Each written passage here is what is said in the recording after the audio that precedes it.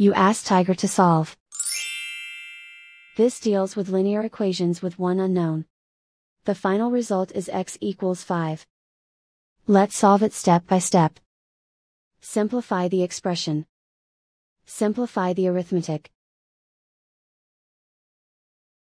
Group all x terms on the left side of the equation. Subtract 9x from both sides.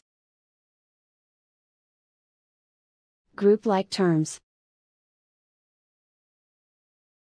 Simplify the arithmetic. Group like terms. Simplify the arithmetic. Group all constants on the right side of the equation. Add 5 to both sides. Simplify the arithmetic.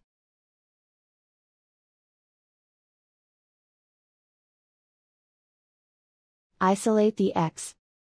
Divide both sides by negative 2. Cancel out the negatives. Simplify the fraction. Cancel out the negatives. Find the greatest common factor of the numerator and denominator. Factor out and cancel the greatest common factor. And so the final result is x equals 5.